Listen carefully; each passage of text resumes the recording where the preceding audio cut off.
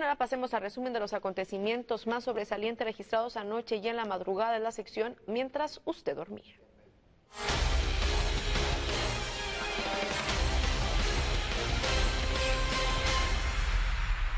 Después de perder el control de su vehículo por conducir bajo los influjos del alcohol, el mismo se volcó quedando prácticamente inservible en hechos registrados el lunes alrededor de las 10 de la noche en el cruce del eje vial Juan Gabriel y calle Barranco Azul. El hombre que conducía el auto fue identificado como José Antonio Aceves, de 35 años de edad.